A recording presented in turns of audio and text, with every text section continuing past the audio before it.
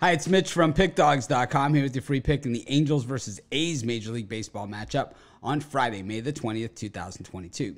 Here on YouTube, I do tons of free pick videos, so be sure to subscribe to our channel. We do free picks every day, sportschatplace.com, pickdawgz.com, right here on YouTube, as well as across social media on our live shows. And when you give out that many free picks, you're bound to like some games more than you like others. And to find out which games those are, as well as get best bets from some of the top handicappers in the world, head on over to our website, pickdawgz.com click on the premium picks tab. But let's get to this one. We've got the Angels taking on the A's. Chase Silseth on the mound for the Angels and Paul Blackburn on the mound for the A's. And I think, you know, when we look at these two pitchers, well, we know that they just recently pitched against these opposing teams. They did not face off against each other, but they did face these teams just last week, and they both had a lot of success in those games.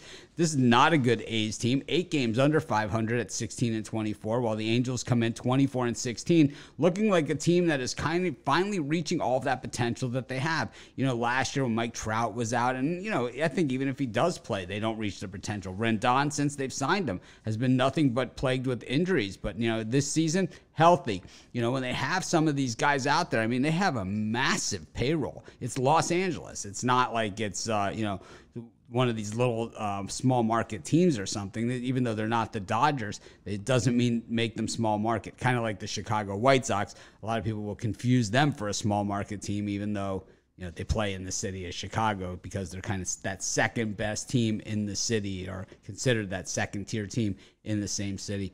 You know, I just think that this year could be the Angels' year, at least the way things are going. Of course, you can't win championships in May, you can't win divisions in May, but you sure as heck can lose them, and I don't see the Angels doing that. I think uh, in this one though, I think this one's going to be a little bit of a battle. I'm going to take the under in the Angels A's game, and that's going to be my free pick.